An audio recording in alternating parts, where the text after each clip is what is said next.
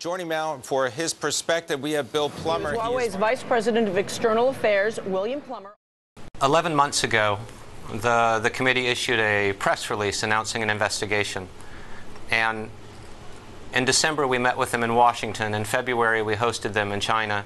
In May, we hosted committee members and staff in Hong Kong with our CEO. In June, we received a list of questions from the committee, which we responded to in short order in early July.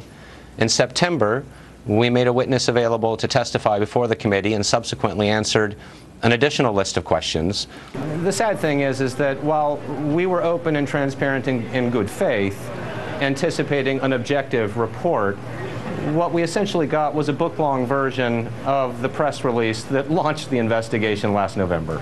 The fact that this is a political agenda is demonstrated by the fact that they launched an investigation of two companies headquartered in China instead of the six companies that are all coding and building and developing in China.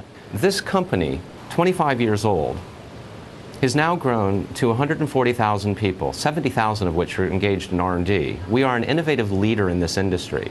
We have over 50,000 patents filed, over 500 telecommunications operators as customers. 32.4 billion in revenues last year across 150 different markets. 70% of our business outside of China.